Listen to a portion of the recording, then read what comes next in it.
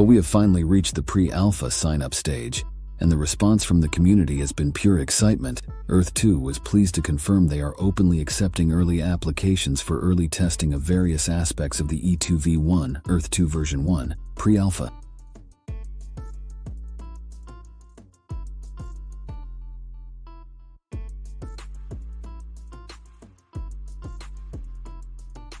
These applications are being accepted in advance so that when the time comes, they will have a list of willing supporters on hand and ready to help out.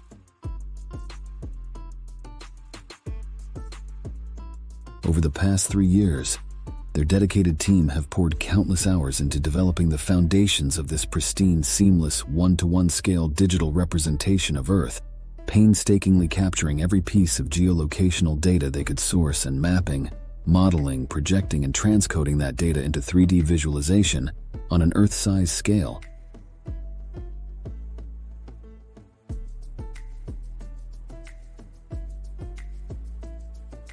Given the sheer scale of creating a 510,072,000 kilometer Earth that is not only topographically accurate and performant, but also looks visually acceptable as a monumental task in itself, which is understandably why most of their development has been heavily focused on this foundation.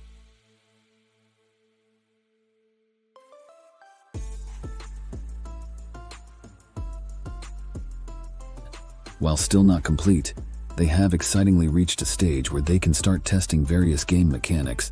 Recently, they also reached another major milestone with the early introduction of multiplayer support for E2v1 and started testing the integration of some work-in-progress game mechanics with the goal of building on and improving the player experience after the pre-alpha is released. A pre-alpha state can mean a lot of things, ranging from extremely early access containing some early game mechanics or proof of concept features to something that is playable, but is far from complete lacking fully developed features that function together.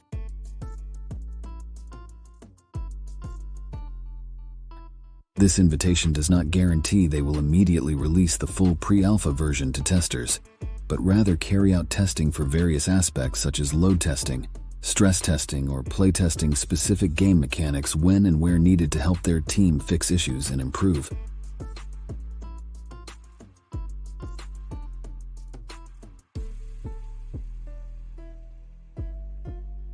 Earth 2 is a massive and ambitious project that they expect to span across many years of development as they build and improve.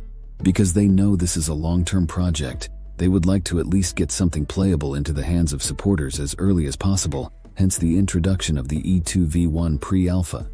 Their long-term goals have not changed. The pre-alpha is just the first step toward the creation of the 3D world they have always envisioned and continue along with the ideology of giving their players something to do as they build along the way. You are welcome to sign up for the E2v1 pre-alpha using the link below, so we are interested in receiving feedback from the community. Will you sign up to test the pre-alpha? I know we will be salivating to get on that open world platform. The Earth 2 team have been working diligently behind the scenes, and we at E2 in the Know cannot wait to see what the future holds.